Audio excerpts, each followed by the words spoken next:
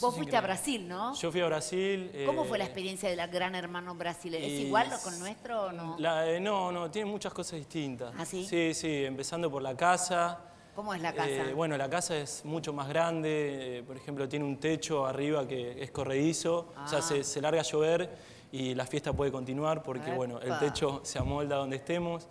Eh, bueno, también hay, hay una casa de un líder, es decir, hay, hay, hay muchas cosas que... Que son distintas. Sí, que son distintas. Y, no, la verdad una experiencia, gracias a la gente, bueno, le agradezco una vez más a la gente porque, te cuento, Susana, Mm. fue una votación de todos los que estábamos afuera. eh, y bueno, el premio era viajar a Brasil y bueno, gracias a la gente. ¿Te gustó eh, sí, conocerla? sí, claro, sí. por supuesto.